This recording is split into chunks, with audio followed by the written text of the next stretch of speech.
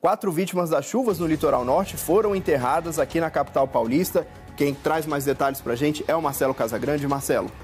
Olha só, Fernando, duas dessas vítimas eram irmãs. Elas estavam no litoral para conhecer o mar. Era o sonho de conhecer o mar e realizaram agora no litoral norte, mas infelizmente acabaram aí tendo a vida levada por essa grande tragédia. As outras duas pessoas eram pai e filho, Ronei Olivares e Cristiano Olivares. Viu? As quatro pessoas foram enterradas no cemitério da Vila Formosa, na zona leste da capital paulista, como a gente está vendo nas imagens. Enterros rápidos, mas marcados aí por muita emoção, um sentimento, claro, de muita tristeza, como não poderia ser diferente.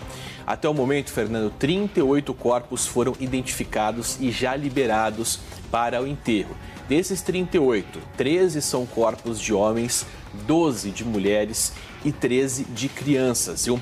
A gente viu na reportagem do Luciano Teixeira, né? 50 pessoas é, morreram em decorrência das chuvas, quase 3.500 delas, agora moradores da cidade, tiveram que deixar as suas casas, até porque a situação ainda é bastante delicada e bastante complicada. A expectativa do governo do estado é, claro, identificar o restante dos corpos e os trabalhos de resgate continuam e um novo boletim atualizando os números da grande tragédia no litoral norte deve ser divulgado na manhã desta sexta-feira. Fernando.